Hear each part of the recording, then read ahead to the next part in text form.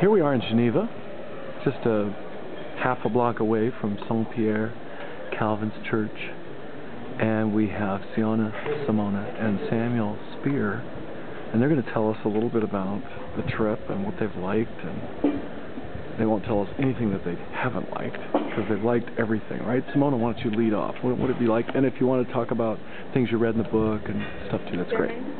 Sermon this morning, absolutely. Well, one of the things I really liked about the book was it really brought alive some of the, it really captured what Calvin's main, uh, main philosophies, not philosophies, but what his uh, core was. It really captured who he was all about and what his goal was in life, and um, and it also tied together all the historical facts and all the theological arguments, so you could remember some of that and not have it fly right over your head. So. Now, did some of that get a little bit long, though, Simona? In No. I, I don't. Oh, okay, that's, that's what I like to hear. That's good. But you tied it in really well to the story and wove Okay. it together. And, Okay, good. Sam, did you have a favorite part? Um, well, I really liked how you tied together the book and the tour.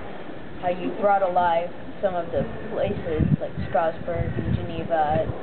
You put some real fun fictional things that are tied to there.